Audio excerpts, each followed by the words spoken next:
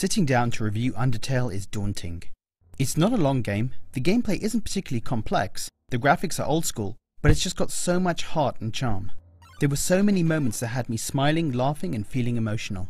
I haven't played a game quite like it, where reading text on a screen can have such a big impact on me. The story of Undertale starts off as you, a human child, falling below the surface to the world of monsters. Monsters have been trapped there ever since they lost a war with the humans. You journey through the world in the hope of finding a way back home. Along the way you meet many characters and if you take the time to get to know them and talk to them, they can become your friends. By the end of the game I felt so attached to them. Undertale isn't a particularly long game, but I felt like I knew these characters so well by the end. I knew their hopes and dreams, their loves and hates. This is Undertale's greatest strength, making you care about the monsters you meet along the way.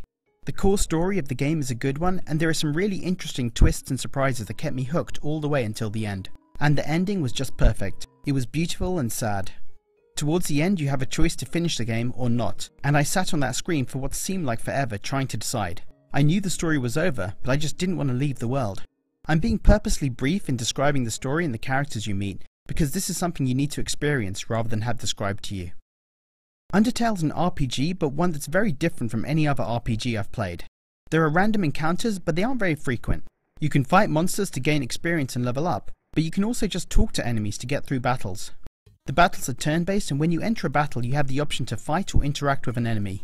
When you're attacked the game starts a bullet hell minigame where you control your heart and move it around a small square trying to avoid projectiles. I wasn't very good at this to be honest, and I would take a lot of damage and this was a source of a lot of inner conflict for me. When you kill an enemy you can level up and increase your health. This can help in future battles, especially boss battles, but I also wanted to be the good guy, it's a decision you'll have to make as you play the game. Make the game somewhat easier by killing enemies, or be a nice person and increase your challenge. Most of the game has you walk through the monster's world, solving puzzles and talking to monsters you meet along the way. The game is linear and can probably be completed very fast if you ignore everyone you see, but taking the time to talk to all the monsters, learn more about the world and form friendships feels really rewarding.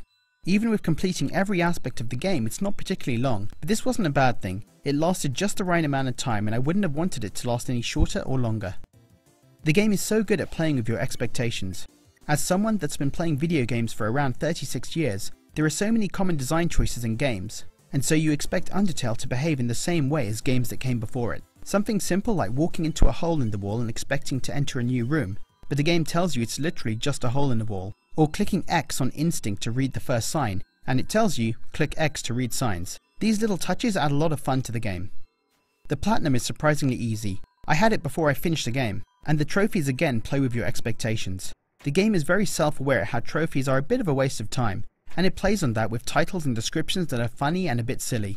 One set of trophies is obtained by donating money to a dog statue, but you can only give one coin at a time. I was sitting there for around 30 to 40 minutes just pressing X constantly to donate the money and get all the trophies. The things we do for Platinums. The music is amazing. The tunes are catchy and suit the game perfectly. The final boss music and the music for the Snowdin town were just two of my favourites and had me humming them for hours after putting the game down. The game has an old school pixel art style. Again, it just suited and complemented every other part of the game. Undertale is so unique and so impressive. Every part of it just works.